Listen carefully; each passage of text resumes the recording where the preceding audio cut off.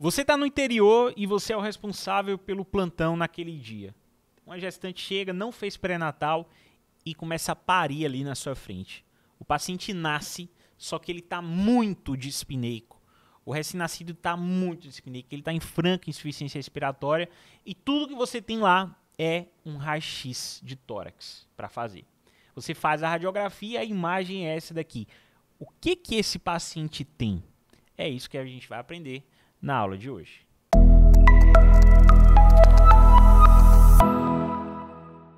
Gente, seguinte, ó, paciente tem uma radiografia dessa aqui, isso é patognomônio, você já sabe que tem pelo raio-x. Ah, João, não sei, nunca vi isso. Calma, depois dessa aqui, você não vai mais esquecer. Raio-x de tórax, lembra que a gente sempre fala do ABCDE? Se você não lembra do ABCD do tórax, eu vou pedir para colocar um card aqui em cima com a aula ABCD do tórax para você aprender a interpretar o de tórax.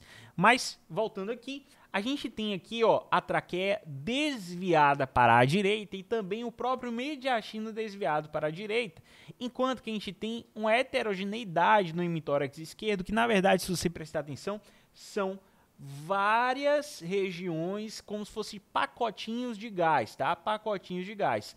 Isso aí, gente, são alças intestinais. As alças intestinais que deveriam estar lá na cavidade abdominal, elas subiram para o hemitórax esquerdo e estão empurrando o mediastino contralateralmente. Isso é uma hérnia diafragmática congênita e isso precisa de intervenção cirúrgica, tá? Bom, então, olha só a marcação aqui para vocês, ó. A alça subiu para o hemitórax esquerdo, desviou e é isso daí.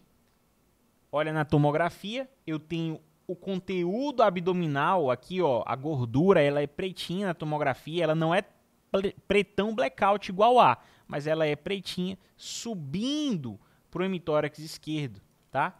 Então, marcado aí para vocês onde seria mais ou menos o limite aí da herniação. Provavelmente esse paciente que não fez pré-natal já vai nascer aí com algum grau de hipoplasia do pulmão esquerdo.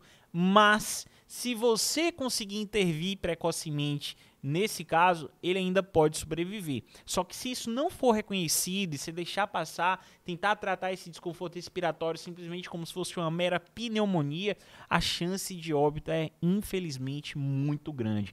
Então é sua responsabilidade conhecer um raio de tórax como esse aqui. Tanto para acertar a questão de prova, mas principalmente para acertar na vida, ok? Então, uma das causas de insuficiência respiratória do recém-nascido mais importantes de se conhecer é hérnia diafragmática congênita. Espero que tenha gostado. Até a próxima.